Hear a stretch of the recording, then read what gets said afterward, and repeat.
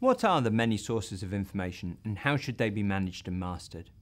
What is the ideal regularity of data flow and how can information be delivered to users independently of changes that may be happening to source systems? In this session we'll go into the detail of understanding and reconciling data sources. We'll look at data cleansing and at the optimum frequency of data capture. The information sources layer represents all potential sources of raw data which would be required by the business to address the information requirements. In the architecture, we identify four source types, operational, syndicated, unstructured, and commercial off-the-shelf packages. There are special considerations that we need to give to key dimensional data that defines the organisation, and specifically that we will want to take action on. This can be data like customer data, product data and so on. We may be tempted to solve these problems inside the data warehouse as part of our data quality process in ETL.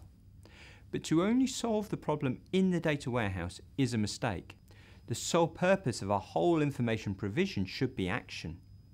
The idea that we will do something as a result of the insight learned. Typically, we take this action in an operational system. An example could be that we understand something about a customer and determine a next best activity in an operational campaign engine. But if the only clean record of the customer is in the data warehouse, it may end up being impossible to take this action. So we specifically solve issues around this type of data outside of the data warehouse through some kind of master data management. Although I draw this as a hub here, this is not necessarily how it's implemented. All we need to know is that something is coordinating a single consistent view of customers, products and so on.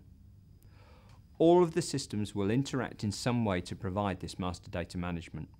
This could be an asynchronous data flow, but is probably better architected as a simple service call. Data then needs to move from the information sources into the enterprise data warehouse. I'm often asked how this should be done. My belief is that we make two mistakes when we build this information flow. The first mistake is to make all of these data movements overnight batch jobs. I often hear data warehouse application owners saying, our batch window's disappearing. The best solution is don't have a batch. It's often just as easy to move data during the day in a near real-time manner through queues or mini batches. This allows for more right-time reporting to potentially come out of the data warehouse. The second mistake is to only move those information items that information consumers are interested in right now. If we do this, then every time users have a new requirement, we'll need to go back to the source owners and ask for modifications to the extract.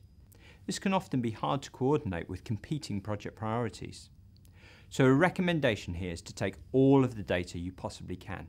It does not necessarily have to be stored in the data warehouse, but implementing this technique will greatly enhance the agility of the data warehouse itself.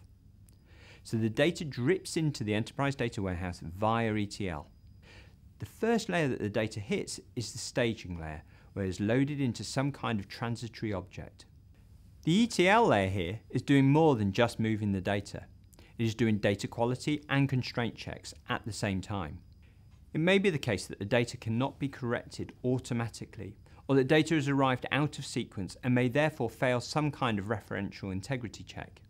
We may therefore need to hold the data in some kind of space for rejected data, and we may need to automatically replay this data once a separate feed of data has arrived. The inverted L shape of the staging layer implies that the data may be accessible for some information consumers. One of the purposes of this is to expose data quality issues to those who should care most about it, the business. All too often, data quality is seen as just an IT problem, and this is seldom the case. Only by exposing the problem to business users can we hope for some kind of resolution. This technique can be extended. We can start to hold data quality metrics against each measure and dimension and start to derive metrics against data as it moves through the data warehouse.